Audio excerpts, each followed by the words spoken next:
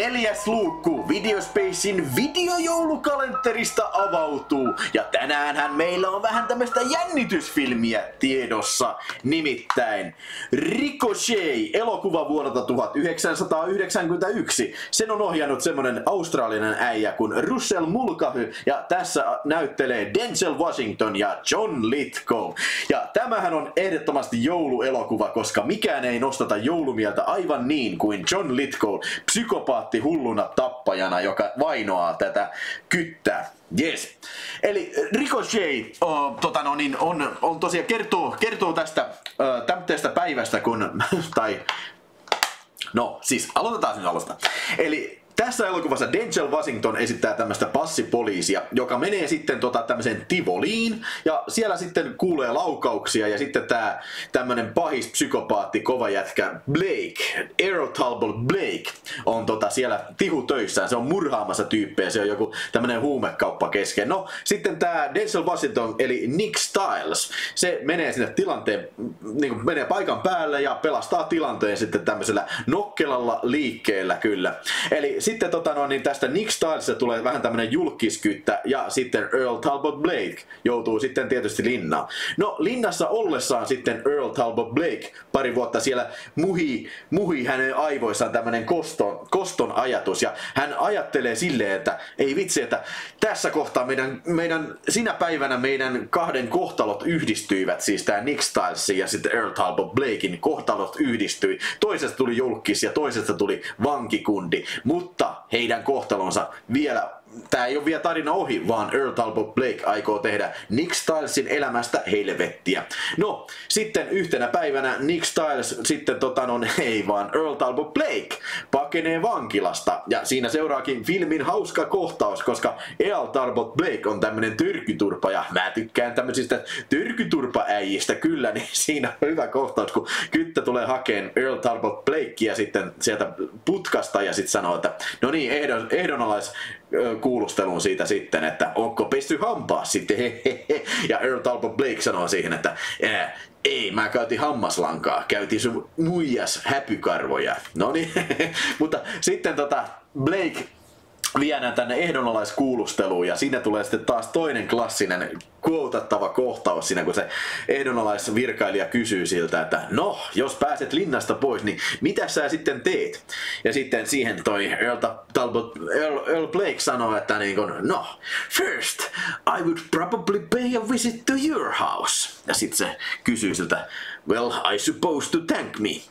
Nah, first I would fuck your wife. Then I would fuck your daughter. Hell, maybe even your dog.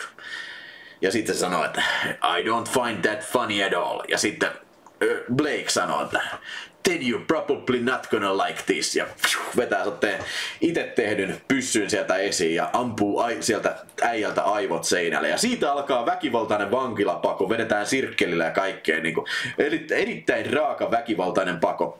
No, sitten Blake lavastaa itsensä kuolleeksi ja sitten Nick Styles saa tiedon siitä, että niin kun, joo, Blake on kuollut ja sitten on siltä ja whatever. Mutta Blakeillä on ovella juoni ja se tekee niin kuin tästä Stylesin elämästä helvettiä ja se lavastaa sen, että se on pedofiili ja tiedätkö, lavastaa, että käy huorissa, se palkkaa, se huumaa sen, se kidnappaa sen huumaa sen ja palkkaa jonkun huoran sitten tota noin, tartuttamaan hänelle tippurinkin, että, että näin.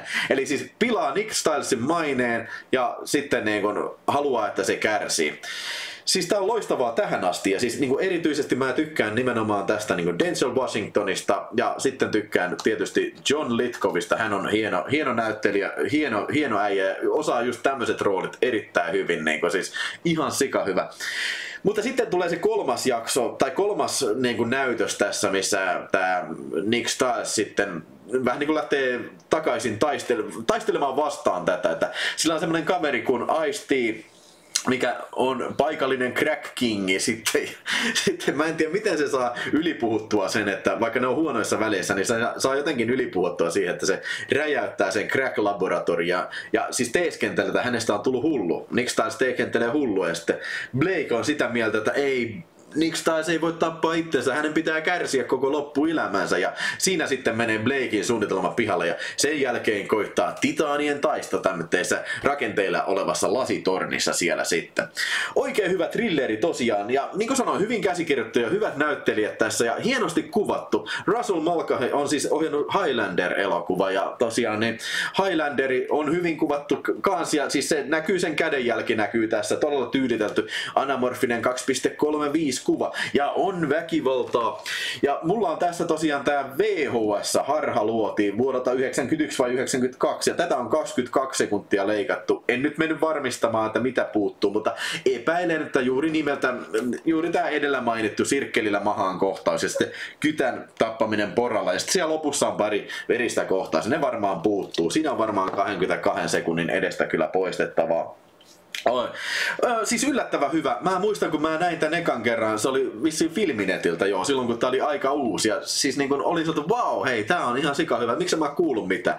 Ja siis tää on edelleenkin siis aika vähän tunnettu leffa kyllä, että niin kun, mä en yhtään ihmettelisi, vaikka juuri sinä siellä katsomassa, joka yleensä tykkää Denzel Washingtonista tai tämän tyylistä thrilleristä, et olisi välttämättä nähnyt tätä, että, että niin kun, toivottavasti, toivottavasti pääset katsomaan tämän ja toivottavasti oot sama, about samaa mieltä mitä mä, koska niin mä tykkään, että tää on semmonen neljän tähden thrilleri kyllä helposti. Vähän se loppu ehkä vähän syö sitä, se muuttuu epärealistiseksi vähän sellainen, vähän, vähän ehkä niinku tuntuu sellainen niinku nopea, juosten kussulle ehkä, jos näin rumasti voisi sanoa. Mutta se on kyllä kaikissa hulluudessa, se on kuitenkin, se on kuitenkin tosi hyvä se loppukin, että että niin kuin, ei sitä nyt parane kauheasti rokottaa semmonen. Suosittelen rikosheita, koska niin kuin, joulun aikaa niin kuin, mikäpä oli sitten parempaa kuin katsella todellakaan psykopaattista John Litkovia mielipuuhassaan semmosia.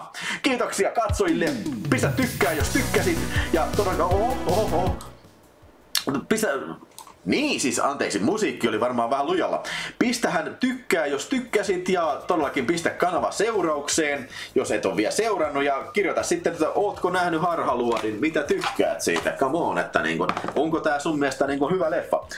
Ja tosiaan niin, hei, liity kanavan jäseneksi, jos haluat supportata näitä mun hommia ja todellakin T-paitoja saa tilattua tuolla alhaalla olevista linkeistä sitten, jos haluaa sitä kautta supportata. Ai ai. Ja hei, lauantaina todellakin tällä kanavalla Klo 19 on tulossa pikkujoulun lähetys. Vittu, mulle tulee vieraaksi ikiset leffanortis. Vittu Catsmats tulee vieraaksi ja Apassi tulee vieraaksi ja itse joulupukki. Ne on kyllä niinku todellakin siis pippalot, jota et halua missata missään nimessä. Lupaa minulle, että et missaa. Ja nähdään sitten Klo 19 lauantaina. Mutta huomenna tulee, tai siis lauantai aamunakin tulee sitten taas joulukalenteri. Älähän missaa seuraavaa joulukalenteriakin sitten. Näihin, näihin tunnelmiin sitten moikka ja hauskaa päivän jatkuu. Yeah! It